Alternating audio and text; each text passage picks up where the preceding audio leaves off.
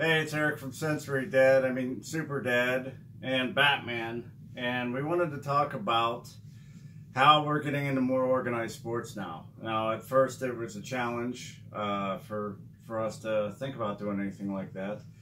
Whenever we would have any kind of failures in an athletic event or even at a birthday party, um, what would happen? Yeah, get mad. Get a little mad and upset, right? Yeah, because of Batman. So what happens now with your superpowers when you get upset? You're able to do what with it? Huh? Kind of use it. Kind of overcome The bad power. and not give in to the bad things so much, right? Yeah.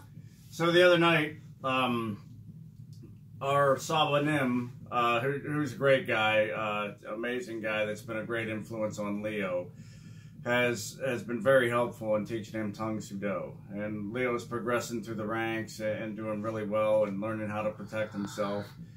And what we've seen is there's a direct correlation with him taking on more responsibility and learning more forms and being diligent enough to practice at home, uh, you know, in, in relationship to his siblings and, and even his family life. You know, he, he seemed to have grown up through the process of earning more belts and, and doing more complex forms and breaks. And, and the more that we put on him, the better he seems to be doing with it because we are challenging him so much. So the other night we're walking out of class and and uh, Ron, you know, Ron says I'm the super, super, super and Ron said he wanted to talk to me, and you know, so we all went into class, and I know that my youngest had been acting out in class, so I said, okay, here we go. What's this about? And boy, did he have a lot of praise for Leo and how well he's been doing in class, and and Leo said one of the greatest things in the world for a dad to hear. And, and can you explain what you said? I said you can take two paths. Easy path, which is you don't listen and you get in super trouble and you don't learn anything.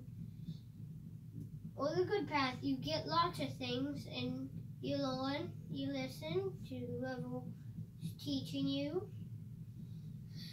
So if you take the bad path, you'll get spanking. So basically, we see the evolution that Leo is self-aware now to realize that um, there are, you know, implications to acting out in class, and even whenever he gets angry now, he might still scream, and that's happened a couple times this week. He might still get upset, but he's able to control it and and get away from the situation before it really blows up. Yeah, that's me. Last night at soccer.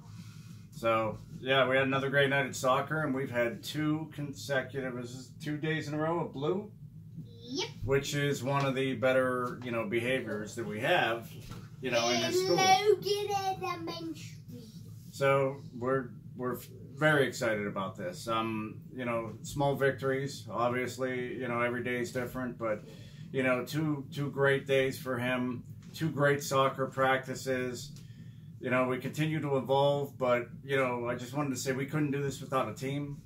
You know, Ron, our, our Sa Bom Nim, and you know, a good friend of the family, has been a great influence on us.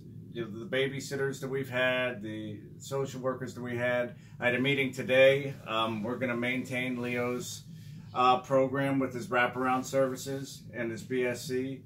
Uh, you know, it's been great so far, but the class is at half mast. You know, we only have 50% of the capacity in the classrooms right now. The teachers are still rehashing a lot of what we saw last year as far as his curriculum. I mean, I can tell you that uh, a lot of the stuff they're sending home doesn't even, you know, in my opinion, not not really where it needs to be.